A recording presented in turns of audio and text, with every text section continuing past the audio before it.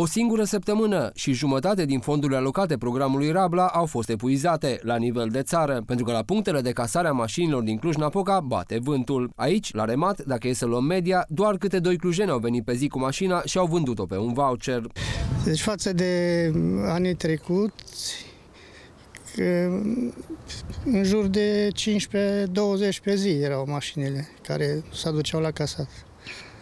Acum mai încet. Dar pentru că în țară treaba merge bine, dealerii de mașini sunt optimiști. Programul a început în forță pentru că sunt foarte mulți clienți care așteaptă acest program și, prin urmare, s-au și epuizat aproape jumătate într-o săptămână din când a început la nivel național din fondurile alocate. Prin urmare, credem că va fi un succes și uh, această a doua etapă. La jumătatea lunii viitoare, cel mai târziu, fondurile vor fi epuizate. Pentru această sesiune a programului Rabla, a doua din acest an, au fost alocate 30.000 de vouchere. În prima sesiune au fost finanțate peste 20.000 de mașini, din care 753 în județul Cluj. Valoarea primei de casare, deci investiția într-o viitoare mașină nouă finanțată de stat, este de 6.500 de lei. Dacă mașina casată are emisii de maxim 98 de grame de dioxid de carbon pe kilometru, proprietarul mai poate primi un ecobonus de 1000 de lei sau, dacă autoturismul dat este hibrid, 1700 de lei.